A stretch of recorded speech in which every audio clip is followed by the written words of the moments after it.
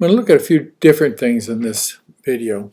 These are projects that I've enhanced by using the laser in combination with the CNC.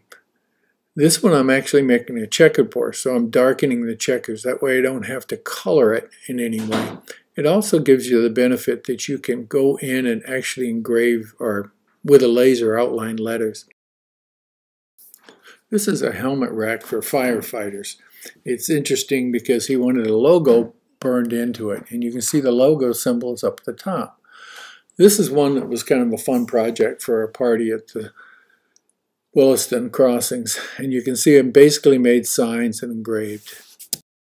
These are cribbage boards, and originally I didn't have any markings, and I tried to mark them by hand, and it didn't work. This way I enhanced it with skunks and numbers and letters and all kinds of symbols on it. So it was kind of fun. This is a project for the trolley. That was a hole in the step. And um, one of the ways we devised to fix it is I made that sign and we put it right on it. This is how I used to do my uh, pegs and joker boards. I machined a groove in it and it didn't work that well. It gave you a path, but this is the way I build them now. You can see I sell them in sets.